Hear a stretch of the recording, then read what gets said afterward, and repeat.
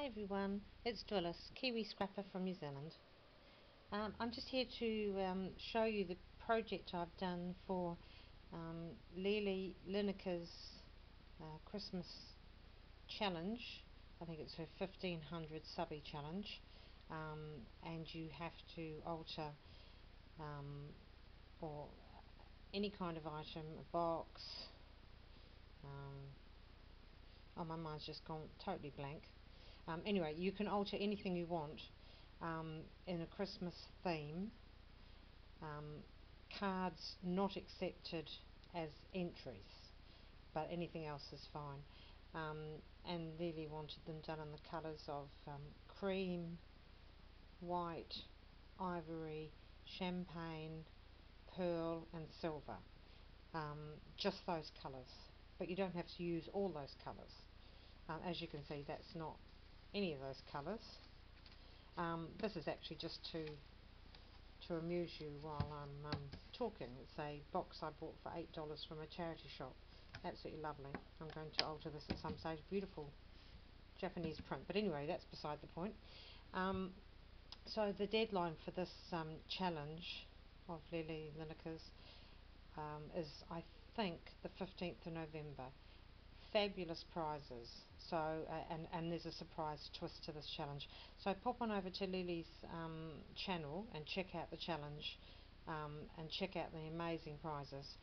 So um, I'll put her link um, in the description box below. So without further ado, after you've looked at this gorgeous, gorgeous box here, look at this. Isn't this wonderful? This isn't wonderful, of course, but the rest of it's wonderful.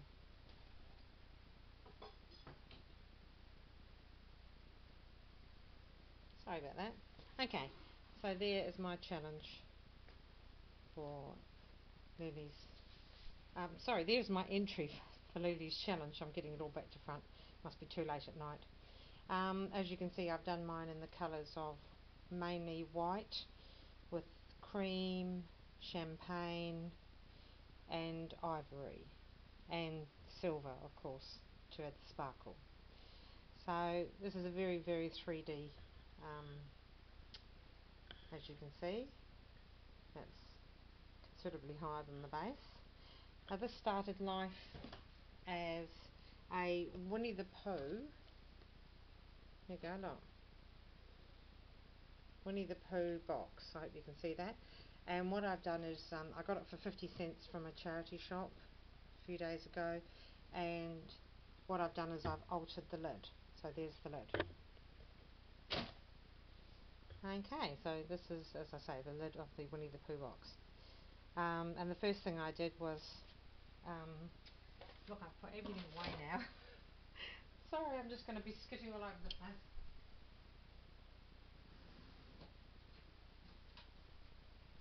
Right. I was going to film this earlier and I forgot and I put everything away, tidied up.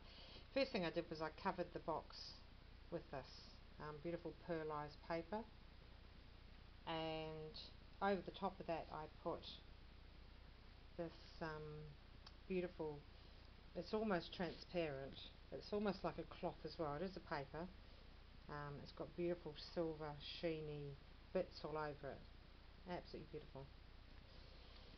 So that's what I put the two of those to cover the Winnie the Pooh huge Winnie the Pooh and Tigger picture on the front in bright oranges and yellows and blues um, so that went on first. Next thing I did was I put this trim around here. Maybe you can see that. Um, it's a lovely um, organza and beautiful um, sort of um, pearlized little beads in it, all twisted around it. Um, the next thing I did was I put a white doily down here, which is like in a star shape and um, I don't think I've got it up enough, sorry. Here it is down here. There's the trim there, around here. That's the white doily. On top of that, um, I put this quite thick wooden die cut, which I bought from a shop in the city. It's in a lovely ser um, serrated star shape with a big serrated um, hole bit in the middle. Uh, I painted that, it was in plain wood. I painted it in two layers of gesso and then one layer of um, antique white or maybe, sorry not antique white, just plain white and then I Mod Podged the whole thing and sprinkled beautiful pearlized glitter all over it. So that's that. I put it on a slant, as you can see there's the base of the box and there's the thing up there. Um, and I put, that's Wild Orchid Craft Tuscany Rose, these are rolled cream rose, satin roses. This is just a fabric rose from my stash. Wild Orchid Craft Orchid in white and these two here are Wild Orchid Craft Orchids um, which I covered in Mod Podge and then sprinkled in silver glue, uh, glitter, silver glitter sorry. There's an organza flower down here with a little um, pearl, uh, little crystal centre. There's a bit of um, crystal bling in here. Okay, then we come, next idea was um, I had this lamplight which is actually a um, Avon perfume bottle from the 70s and I had it as part of a collection. I was actually going to put it into an op shop a few weeks ago and for some reason I didn't and this must be the reason. So I decided that I was going to alter this and put it as part of this project. So I gessoed it two or three times over the glass and over the top. This is the, the top here which just screws off. I won't screw it off for you.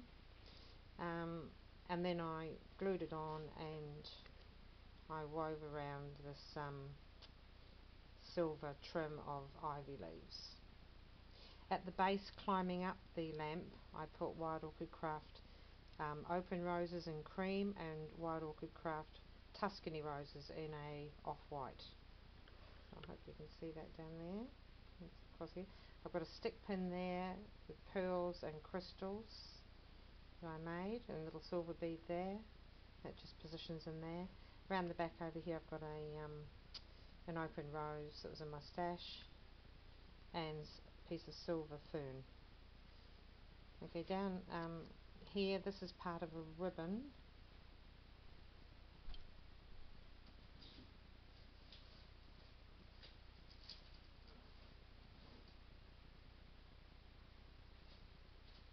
Sorry, I'm totally disorganised. I was very organised earlier, but I had to clear everything away. So this is part of this ribbon here. It's a beautiful Christmas ribbon from the Heirloom Christmas shop in, uh, in the city, not far from me. So I cut out a couple of the different stars, one here and one over here, snowflake here and a star here. Put them there. Um, then I started working on this area over here and I found this beautiful gossamer material, this fabric, in an op shop, which is a thrift shop, uh, a week or two ago. Must have been a curtain or something, a sheer curtain. Absolutely beautiful, shimmery, gleamy gossamer fabric.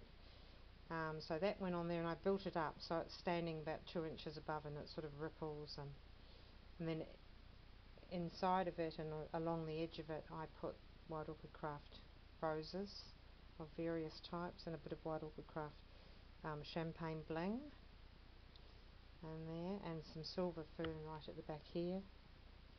And that silver fern came from this delightful piece here, all shimmery glimmery. And silver ferns are um, one of New Zealand's emblems as well as kiwis. So um, that had to go in somewhere of course. Down here oh there's another stick pin I made sitting in here. That's a silver heart some various things there. Um, this is a, a, a metal sleigh. It's a vintage piece, um, probably from about the 1960s. Used to be bright red. Well, in fact, up, up to yesterday it was bright red. Um, and I gessoed it a couple of times and then put covered antique white paint. And as you can see, I've put flowers around it. And um, I'm trying to say here. There's the other side of it quite pretty. Um, so inside of this I put, um, I made a little organza bag, or actually gossamer, the same fabric as this one at the back, and I made up some little parcels, like Christmas gifts, and wrapped them in this, um, that lovely paper again, with the silver print on it. So just tiny. I put some tiny silver beads, this bead string there around them. So that's in, that's just waiting in Santa's sleigh. There's a tiny little church. Well, he's not too small. He's about an inch, just over an inch high. That's a button. It was gold, and I gessoed it a couple of times. Um, he's standing guard over the over Santa's gifts because Santa's gone off for a cup of coffee, I think. This delightful little boy here, which I decided just belonged there. That's, he's all dressed in champagne. He's a little Victorian boy out in a stroll collecting his um, his fir tree or a branch of the fir tree. He's on his way to choir practice. This actually was originally in this hand and it was green so I painted it um, white and put sparkles on it and managed to get it into that hand and in this hand I put like a little scrolled up music sheet because he's going to church to practice in the choir for Christmas carols or maybe maybe they're just joining a group and going around the village as they do um, his head came off a few years ago. So I finally glued it on uh, yesterday and popped him in. And he's just gorgeous isn't he? He's just spotted Santa's sleigh sitting there in the snow and he's highly delighted because he's not going to steal anything because he's a choir boy but he wants to just go over and check it out and make sure everything's alright as curious little boys do at that age. Um, round the sides covered in the same pa paper and two papers as the top is and I've put this lovely um, ribbon trim which is white satin and there it is I bought that from um, a local shop, well, a shop in the city, same place that I bought the, um, the silver vine trim. Yes, so there's pearls, there's str strings of pearls around here just following. There's strings of silver, the tiny little silver beads, which are down here and um, all around here. Just bring that up closer and hope that you can see it.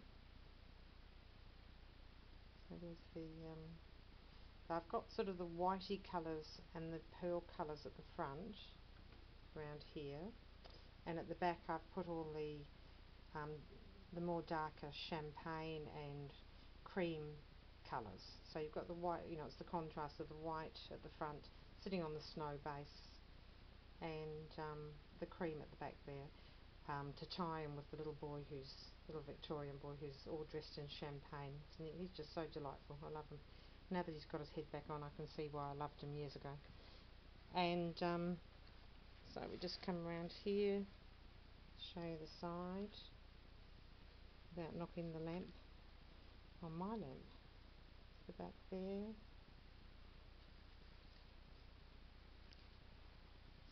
Silver there.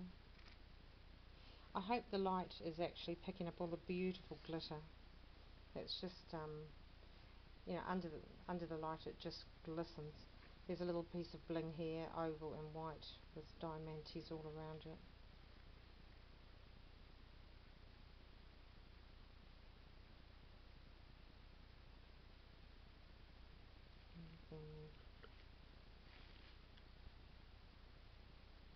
There's the light.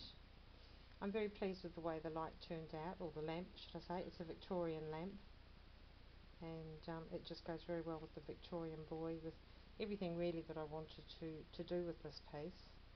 Um, I just wanted it to be a very eye-catching, very special um, centerpiece at Christmas time and I, I, I feel that I've achieved that. Um, you know, I've never done anything like that before, but for me it just feels that I've, you know, managed to get it.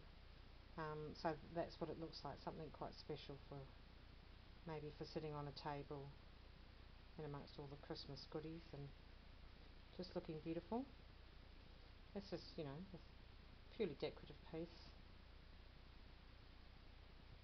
And I was so pleased that um, that over the years I've kept that sleigh because I, I, I hated it. You can see a little, bit, I have to paint, touch that up with paint where I've put some glue for the pearls. It's come off a little, you can just see the red colouring underneath so I'm going to, have to touch that up. But it's, it's, a delightful little sleigh. I used to have two miniature teddy bear, jointed teddy bears that I made years ago sitting in it. It looks so much better on this. And I was actually, it was earmarked to go to the op shop along with uh, with this lamp, well, perfume bottle. So it, it actually pays sometimes to keep these things, doesn't it? And I particularly, I, I do like the little cherub sitting there playing his viola, I think it is. So there you are. I hope um, I hope Lele, Lily likes it or loves it. Even better, love it would be better.